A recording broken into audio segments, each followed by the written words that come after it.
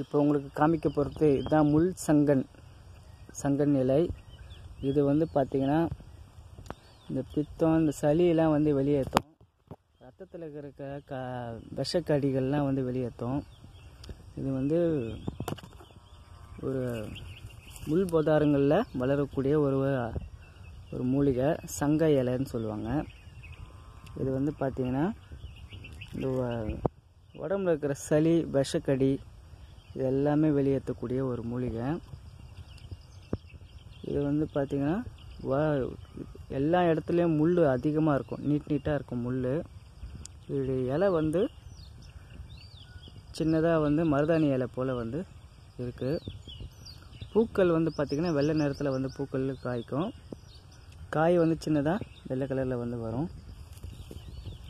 பாருங்கள் இதுதான் சங்க இலை. முள் சங்கன் இது உங்களுக்கு காமிக்கிறதுக்காக இந்த வீடியோ எடுத்து போடுறேன். நன்றி வணக்கம்.